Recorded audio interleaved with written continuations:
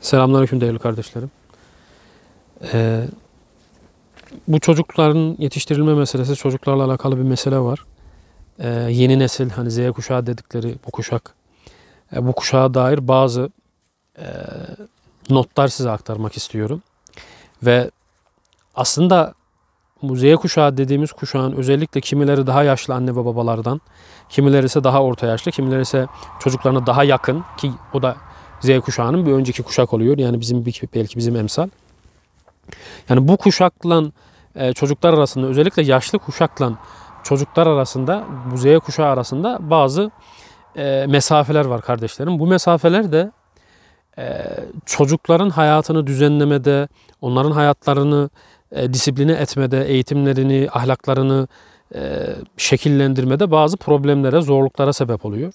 Yani ne demek istiyorum? Aslında asrı, zamanı, işte teknolojiyi, e, günümüzü, e, hadiseleri iyi bir şekilde analiz eden anne babalara bizim ihtiyacımız var. Çünkü çocuklarımızın neyle, hangi tehlikeyle karşı karşıya olduğunu bilmiyoruz. Her zaman söylediğimiz bir cümle. Yani bu milletin en büyük güvenlik sorunu eğitim sorunudur. Ahlak sorunudur. Terör sorunu ondan sonra gelen bir sorun değerli kardeşlerim. Şimdi burada çocuklar, yani özellikle bu şekildeki çocuklar sosyal medya, arkadaş çevresi, kendi gibi düşünen insanlardan e, müteşekkil bazı forum siteleri veya işte gerçek hayatta bunlarla görüşerek bir böyle şey oluşturuyorlar. Bir e, menfi bir cemaat yapısı ve bir görüş oluşturuyorlar aslında.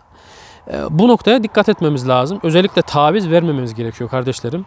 Yani medya, TV kullanımına, televizyonlara dikkat etmemiz lazım. Şimdi YouTuber çocuklar ortaya çıkmaya başladı. Ha diyeceksiniz ki YouTuber da hayra hizmet ediyorlar. Yok yani tamamen böyle medya odaklı, işte televizyon odaklı, e, sosyal medya, Face, YouTube, işte Instagram odaklı nesiller yetişmeye başladı. Bu hakikaten çok büyük bir tehlike. Yani iradesini eline aldığını sanan 30'lu 40'lı yaşlardaki insanlar bile akıllı telefon kullanmaktan şikayet ve feryat ederken yani bu tarzdaki çocukların e, kendileri ya benim çocuğum akıllıdır, işte doğru yanlışı seçer, özgür irade, özgürlüğü var ve kendi hür iradesi var diyebileceğimiz bir şekil ve konumda asla değiliz kardeşlerim. Yani birkaç misal vermek istiyorum. Yani bu medya ile çocuklarımız arasında kesinlikle ayırmamız lazım. Yoksa o çocuk sureten bizim gibi görünür, nüfusta bizim gibi olur ama hakikatta e, başka bir milletin, başka bir e, işte inancın, anlayışın, başka bir kültürün çocuğu olabilir. Şimdi buradaki bazı e, noktalar var. Bu da bizim kardeşler arasında bazen konuştuğumuz şeyler. İşte Müslüman terörist. Yani oyunlarda mesela özellikle bazı oyunlarda yani değerli kardeşlerim özellikle genç kardeşlerim bunlar bilirler. Ee, bazı Müslümanlar yani Müslüman kıyafetine sahip olanlar ve bazı Müslüman ülkeler terörist olarak gösteriliyor. Ve e, bu terörist olarak gösterilen bu ülkeler de o oyunun böyle en e, stratejik en önemli yerine konulup e, onun öldürülmesiyle böyle oyuncuda yani oyunda büyük bir kademeyi aşmış olmasından dolayı büyük bir sevinç e, oluşturuyor. Özellikle şuursuz ve dini bir eğitim almayan çocuklarda bu e, o çocuğun iç dünyasını ve alemini tamamen yönlendiriyor. alanlarda da bunu yapıyor. Ama e, onlar da tabii daha tahripkar bir etki yapıyor. Buna çok dikkat etmemiz lazım değerli kardeşlerim. Yani özellikle Müslüman terörist figürü oyunlardaki. bu tehlikeler tabii bitmiyor. oyunlardaki işte özellikle gene oyunun ki bu da meşhur bir oyun. Oyunun en önemli yerine değerli kardeşlerim işte belki en son bölümlere yakın oyunu bitireceğin yere ve kimsenin işte aşamadığın seni büyük bir e, oyun grupları ve yazışmalar arasında ve oyun forumlarında ve arkadaş çevrende sana o işte orayı nasıl geçtin dedirteceği bir yer hakikaten ve orada haça ibadet etme var kardeşlerim. Gidiyorsun e, haça ibadet ediyorsun. E, orada işte bir ibadet şekli var oyunun kendi kurgusunda. Onu gerçekleştiriyorsun ve artık o oyunu başarılı bir şekilde başarmış ve kimsenin geçemediği o bölümü geçmiş oluyorsun. Allah muhafaza işte kimisinde Buda heykeli ya da başka heykeller tarzı e, oyunun en stratejik yerlerinde böyle e, o heykellere secde ettirme şeyi var. Hani kimilerimiz şöyle söyleyebilir. Ya kardeşim ne olacak bu sonuçta oyun ve adam orada yani bu oyun olduğunu biliyor. Öylesine onu orayı geçmek için yapıyor.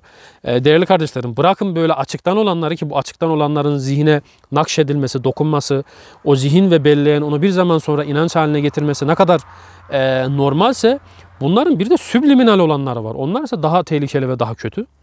Burada özellikle bazı oyunlarda gene işte mesela kadınlara işte bazı evlere girip ya da işte bazı lokanta tarzı, kafe tarzı yerlere girip e, o oyunu geçmek için ya da işte oyunun içerisinde bir atraksiyon olarak işte e, kızlara, kadınlara tecavüz etme şeklinde bazı uygulamalar var. Bu da çok tehlikeli. Yani tamamen bu işi normal hale getiren e, hatta bu işte daha ötesinde pedofili dediğimiz şeye götürecek kadar oyunlar, oyun içeriklerinde e, yapılması ve aşılması gereken görevler arasında bu tecavüzü, tacizi, bu pedofiliyi koyuyorlar değerli kardeşlerim. Ve çocuklar bunu oyun içerisinden en önemli bir kısım olarak zihinlerinde unutamayacakları bir anı olarak saklıyorlar.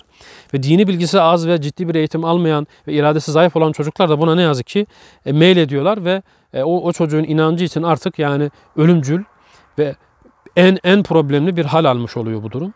Oyunlarda bu şekilde çok tehlikeler var. Yani sosyal medyada, YouTube'da, e, efendim Face'te, Instagram'da, oradaki yazışmalarda, görsellerde, arkadaş takiplerinde, kişilerin takip ettiği yazar ve siyasetçilerde e, ve bazen düşünce insanı deyip e, lahım gibi, lağım gibi fikir akıtan insanları takip ederken de aynı zehir vücutlarını alıyorlar.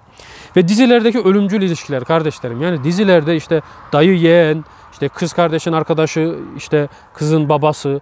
Yani böyle enteresan bir e, ilişki şekli var.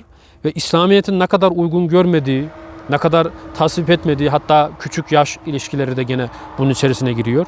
Ve işte zaten haramı artık anlatmıyorum. Yani dizilerde giyiniş, e, giyiniş tarzı hiçbir şekilde yani böyle neredeyse televizyonda İslamiyet'in tesettür hakikatına ve ruhuna, İslamiyet'e uyan bir e, kıyafet zaten neredeyse yok. Onu geçtim. Yani onun yani geçtim derken elbette ki çok büyük bir problem bu. Kesinlikle aileler, veliler buna tepki vermesi lazım. Ee, imamlar, hocalar, dini kurumlar, vakıflar, STK'lar buna tepki vermesi lazım. Herkes ortak bir büyük tepkiyi bu noktada oluşturması lazım. Onun haricinde bu ilişki meselesi çok ayrı bir konu. Yani işte öyle bir şekilde şirin gösteriyor ki ya işte aşk mukaddesa ona aşık olmuş ya işte ne olacak yeğeniyse ya da işte babasının arkadaşıysa ya komşusuysa ne olacak falan filan gibi böyle meseleyi çok e, büyük, geniş, e, tehlikeli vadilere taşıyorlar. Buralar değerli kardeşlerim cehennem çukurları, cehennem vadileri aman aman bunlara dikkat edelim. Sinema, eğitim, okullar yani eğitimdeki yani sadece tehlike oralarda değil. Kitaplarda da büyük tehlike var. Hala Darwinizm tamamen kitaplardan çıkmış değil. Yani bazı dini anlatılar mesela kitaplarda problemli. E, yani kitaplardaki anlatım şekli kesinlikle Cenab-ı Hakk'ın e, esmasını, Cenab-ı Hakk'ı temsil eden bir anlatım şekli değil. Cenab-ı Hakk'ın indirdiği İslam'ın ruhuna uygun olan anlatımlar değil. Okullardaki eğitim de hala öyle. O yüzden çocuklarımızı sinema dersen sinema sektörü de hala öyle. Yani sinema hala kelime-i şehadet getirmiş değil Türkiye'de yani. Hiçbir şekilde bunlara e, çocuklarımız değerli kardeşlerim emanet edilemezler. Gerekirse sert ama latif e, ama tavizsiz tedbirler almamız lazım. Özellikle bu müstehcen oyunlar için aynı şeyi tekrarlıyorum.